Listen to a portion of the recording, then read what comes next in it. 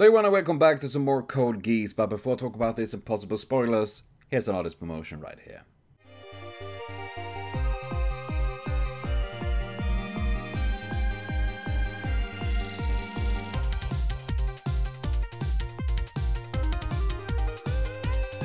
So please be sure to check out MyangHime for more amazing art, links to her demo link below, we also find links to this reaction video. And uh, today I only have two episodes once again, I'm still trying to recover and get better and all of that. And uh, yeah, I'm, I, I, am been very slow lately, so I'm so sorry for that. But yes, we have two episodes and episode 6 I must say was pretty fun. It was it felt a bit more lighthearted compared to the other episodes we have seen, you know, with the cat and uh, all of that and Suzaku that is joining the school and trying to get into everything. And then Lelouch, you know, budding, budding again with him. That, that was pretty nice, actually. It was pretty fun to see. Then again, though, we also see the king, the emperor, the dude, the man, the, the man with the curly, weird hair, and is the major ass, the ass of major, something like that.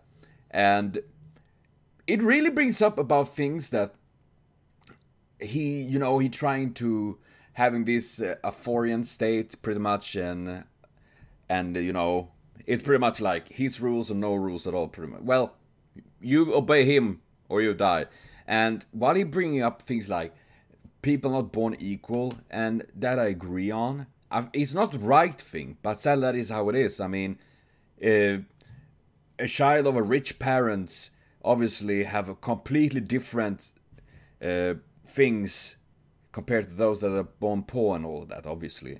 But that doesn't mean that we're trying to not make it. We're trying to make it equal between people and all that. But here is literally equality is wrong. For some for some reason, this is literally something I could see Trump saying. I wouldn't be actually surprised if we have done that. You know, I mean, it is really really like going the under the skin, like trying to really. I mean, the thing that I can see it do is that it divides people, you know? And that is always um, an a foreign state need an enemy. And by doing what they, this emperor do is creating an enemy with the terrorists, so to speak, or the other people that is not the Britannias and all of that, you know?